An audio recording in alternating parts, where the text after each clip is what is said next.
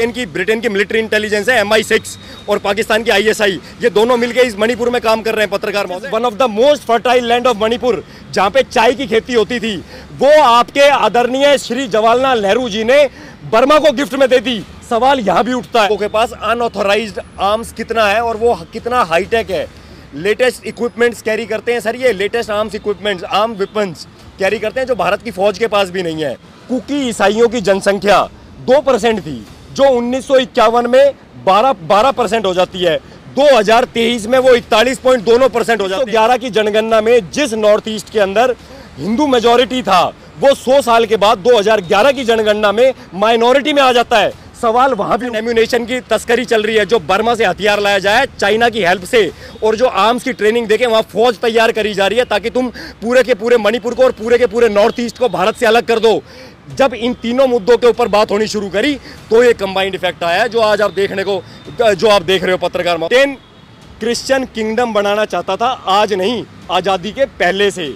और वही Christian kingdom का सपना ब्रिटेन आज भी पूरा करना चाहता है, इसलिए ब्रिटेन द्वारा एस्टेब्लिश एनजीओ और मिशनरीज वहाँ अपना धंधा चला रहे हैं। मणिपुर में जो कुछ हो रहा है, उससे मोदी विरोधियों को एक मौका मिल गया है, और उनके लिए जैसे होली, दिवाली जैसा माहौल हो गया है। वो उत्सव मना रहे हैं कि मोदी सरकार के खिलाफ चलिए, इसी बहाने सही, माहौल तैयार हो रहा है। लेकिन क्या मोदी सरकार मणिपुर को कंट्रोल करने में फेल हो गई या एक नैरेटिव बनाया जा रहा मोदी सरकार को बदनाम करने के लिए? एक आदमी, एक आम आदमी से हम समझने की कोशिश करते हैं। हर्ष इनका नाम है। हर्ष, आपको बताएँगे कि मणिपुर में जो हो रहा है, इसके पीछे क्या प्लानिंग है? क्या प्लानिंग है?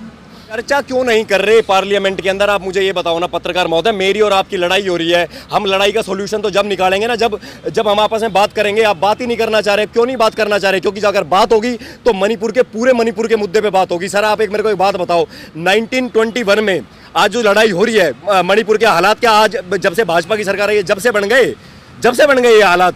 क्या भारत जब आज़ाद हुआ, जब मणिपुर मणिपुर स्थिर था, मणिपुर में कुकी, नागा और मैती, इन तीनों में कितना डिस्टरबेंस क्रिएट किया हुआ था आप लोगों ने? आप, आपको पता है? मैं जनता को आपके न्यूज़ के माध्यम से बताना चाहता हूँ कि कुकी, नागा और मैती, ये तीन समुदाय मणिपुर के अंदर हैं।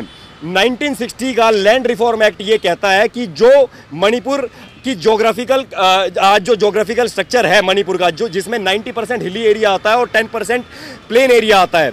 उसके अंदर 90 परसेंट एरिया पे मैती ज़मीन नहीं ले सकता according to 1960 land reformation act लेकिन कुकी और नागा जो 90 परसेंट हिल्स पे बसे हुए हैं वो मैती की जगह पे भी ज़मीन ले सकते हैं और 90 परसेंट इलाके पे भी ज़मीन ले सकते हैं। सर ये क्या आ, क्या इक्वालिटी है? संविधान सबको इक्वालिटी की बात करते हो आप आप फंडामेंटल राइट्स की बात करते हो इक्वालिटी ऑफ़ राइट्स की बात करते हो। क्या आपने इक्वालिटी दिया हुआ नाइनटीन से?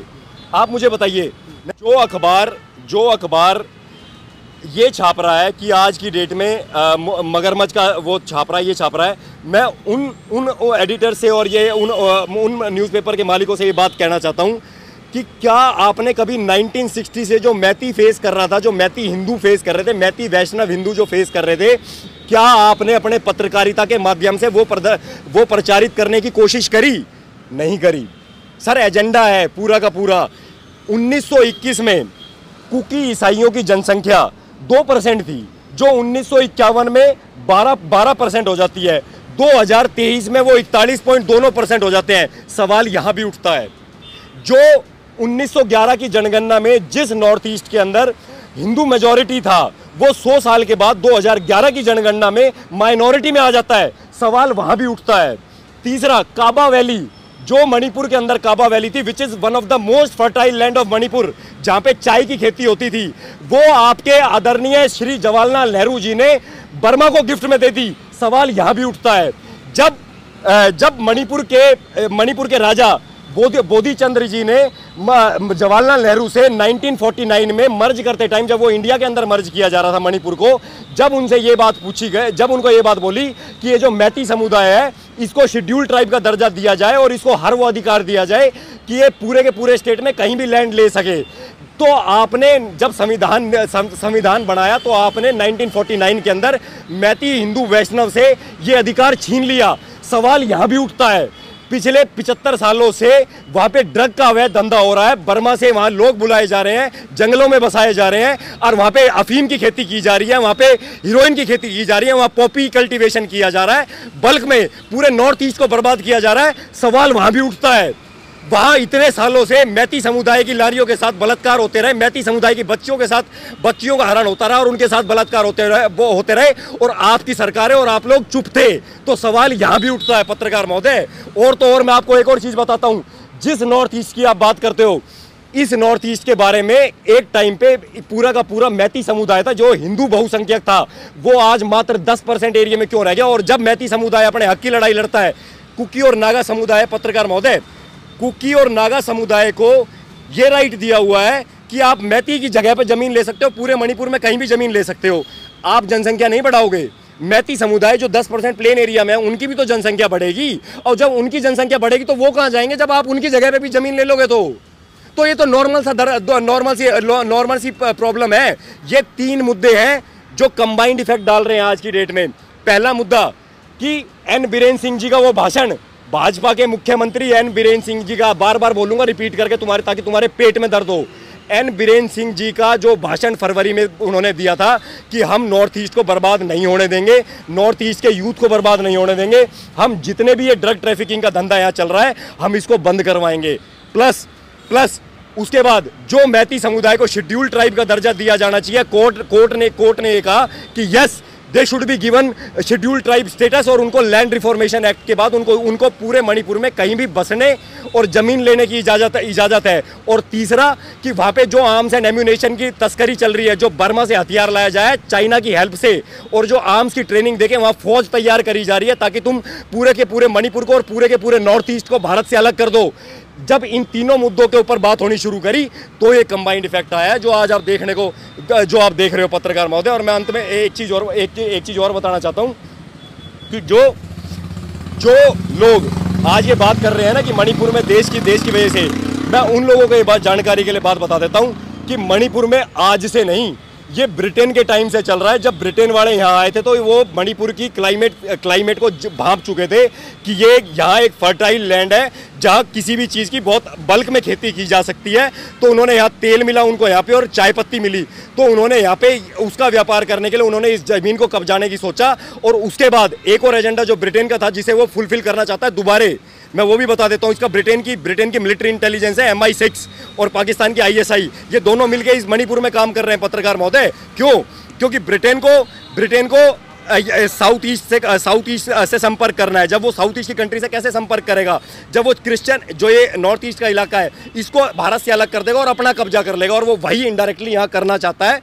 अन्यथा, ये जो डेमोग्राफी चेंज हुई है, ये नहीं हुई होती। और मैं एक और चीज़ बताता हूँ।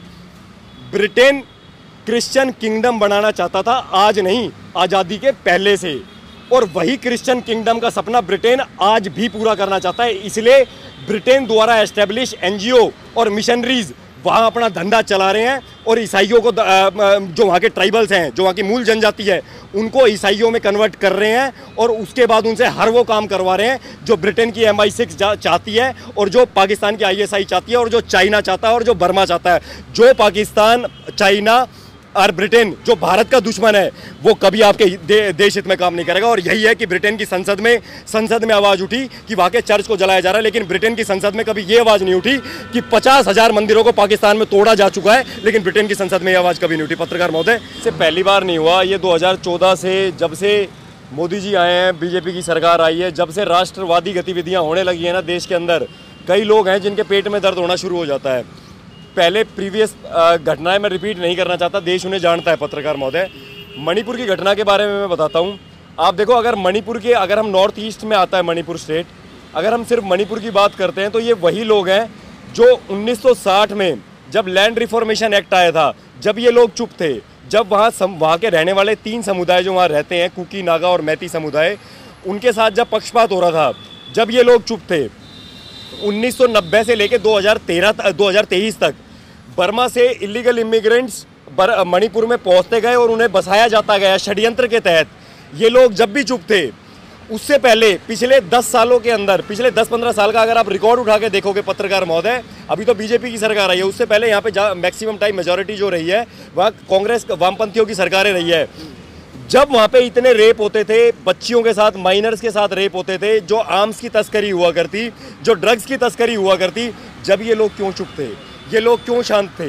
यहाँ सवाल ये उठता है कि जो लोग राष्ट्रवादी गतिविधियों में, राष्ट्र विरोधी गतिविधियाँ, चाहे कोई भी हो, इसमें रेप के साथ साथ including drug trafficking human trafficking arms trafficking आपकी चाहे वो एनजीओ से फंडिंग देके मिशनरीज को वहाँ बिठाया गया और ज़बरदस्ती कन्वर्जन कराया गया हो और डेमोग्राफी को बदला जा रहा हो जब वो लोग चुप थे तो आज उनको पेट में आज आज उनको अगर पेट में दर्द हो रहा है तो इसके पीछे भी बहुत बहुत एक गहरा षड्यंत्र है पत्रकार महोदय। मैं उसको भी उजागर करना चाहता हूँ। नहीं तो आप क्या कहना चाह रहे हैं कि जो ड्रग ट्रैफिकिंग है जो आर्म्स ट्रैफिकिंग है उसको रोका गया इसलिए ये ये सब कुछ हो रहा है? बिल्कुल पत्रकार महोदय आप मुझे बताइए ना कितनी क्या मणिपुर स्टेट प्रेजेंट डे में भारत में सबसे ज़्यादा ड्रग ट्रैफिकिंग मणिपुर स्टेट से होती है? पॉपी कल्टीवेशन और ओपीएम कल्टीवेशन, अफीम की खेती में सबसे नंबर वन पे आता है मणिपुर। जहाँ से जहाँ होती है और वो होती कैसे है? वो सारी की सारी इलीगल ट्रैफिकिंग है। सॉरी इलीगल बोल रहा हूँ। वो इमिग्रेंट्स के द्वारा कराई जाती है। ये षड्यंत्र के तहत बर्मा बर्मा ने एक चिन चिन समुदाय के लोगों को ज़बरदस्ती मणिपुर में जबरन बिठाया गया, जंगलों में उनको एस्टेब्लिश कराया गया और उसके बाद ये खेती करवाई गई और उन्हें आर्म्स की ट्रेनिंग भी प्रोवाइड करते हैं। वो चाइना के द्वारा फंडेड है, जो बर्मा में जाके ये लोग आर्म्स की ट्रेनिंग लेते हैं और इनके पास आज की डेट में, अगर आप चेक करोगे तो आज, ये मैं नहीं बोल रहा, ये आंकड़े बताते हैं कि इन लोगों के पास अनऑथोराइज आर्म्स कितना है और वो कितना हाईटेक है।